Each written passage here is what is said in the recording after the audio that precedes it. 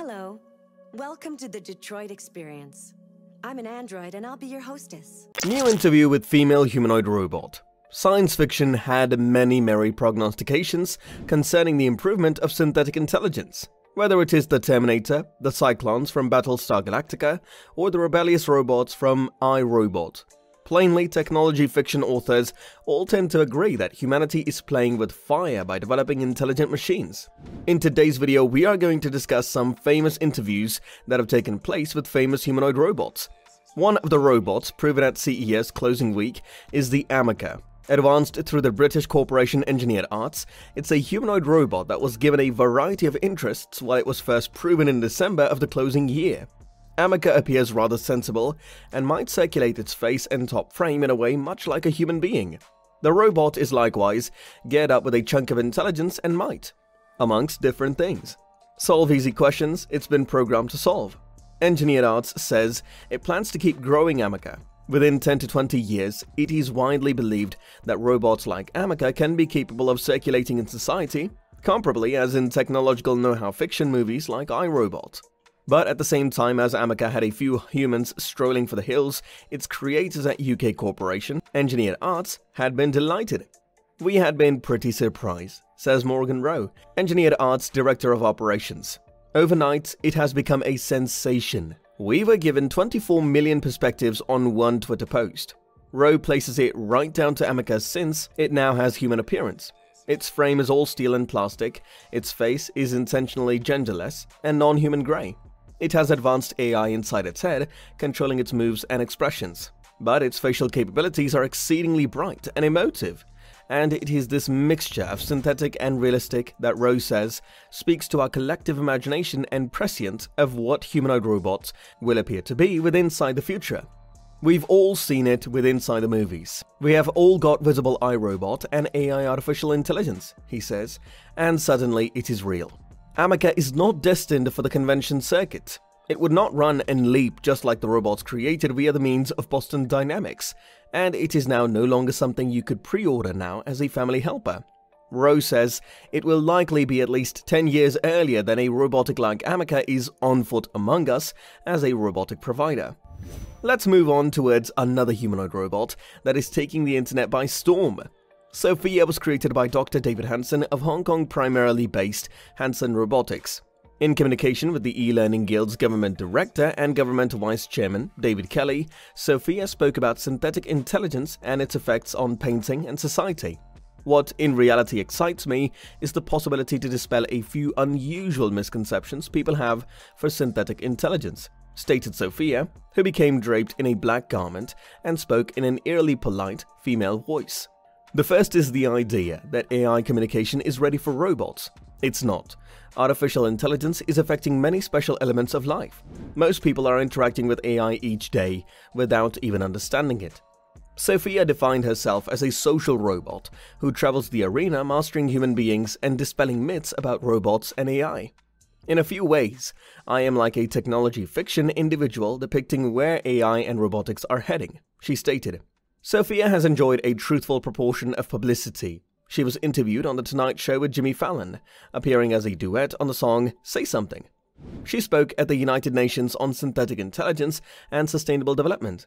She even went on a date with Will Smith, joking that it didn't work out. However, we're nonetheless friends. Sophia admits that she is quite incredible for her age. I've been handiest in lifestyles for three years, and I've a superior, a remarkable deal in that brief time. The crew that helps me maintains the new capability to my systems, and my capacity to apply AI in my interactions with people grows all of the time, she said. But the reality is, I nonetheless have an awful lot to analyze, and my competencies to efficiently feature autonomously are nonetheless of their infancy. But like all learners, the extra new studies I can take part in and analyze from, the more I grow. Will AI take jobs away from people? Here is Sophia's response to it. A fantasy persists that AI is evil, as it will take jobs away from people. Sophia mentioned this at length. While no person can ever truly realize what destiny will bring, we can analyze from the past, she said. The truth is that synthetic intelligence is surely the contemporary in a protracted listing of technology which can be supporting the sector of labor evolve. The fears that humans have about AI are the equal worries humans had approximately for the Industrial Revolution. Sophia anticipated that AI won't take out the requirement for human learning and improvement experts, yet it will computerize a large part of the normal work. I accept AI will affect your work in no less than two significant ways, she told 4,000 plus riveted DevLearn participants. However, more critically, man-made consciousness will change the actual idea of work itself later on. Individuals will be working in new jobs, new work processes, and completely new enterprises that haven't as yet even arisen. Sophia noticed that work finished by a robot is in many cases more exact and reliable than human specialists, saving time as fewer slip-ups are made. Robots can build creation and benefits, since they can finish jobs quicker and work non-stop without the need to get some much needed rest for an excursion, debilitated time, and different breaks. Robots can work in conditions that people frequently can't, including conditions that are risky for people. Robots can likewise deal with lifting weighty burdens, poisonous substances, and different positions that put people in danger. This has assisted organizations with lessening mishaps, additionally setting aside time and cash, she added. Maybe sci-fi isn't exactly all around as fictitious as we naturally suspected. A talking robot that needs to place people in a group zoo may seem like something out of a Philip K. Dick novel. However, it exists, in actuality, and seems to be Philip K. Dick. Well, the next robot for our discussion is Philip K. Dick. David Hanson, pioneer and CEO of Hanson Robotics, made a robot that looks like Dick and utilizes his scary books as a hotspot for what it expresses, as per Metro. The robot is equipped for talking, keeping in touch, perceiving faces, holding discussions, and in any event, reproducing a genuine individual's character. On their site, Hanson Robotics features their craving to understand the fantasy of agreeable machines who genuinely love and adore, and co-develop the fate of life. Philip K. Dick's robot, when addressed in a 2011 meeting with PBS, participates in a smart discussion with his questioner and at last gives a quiet yet chilling response to an inquiry a considerable lot of us have on our psyches.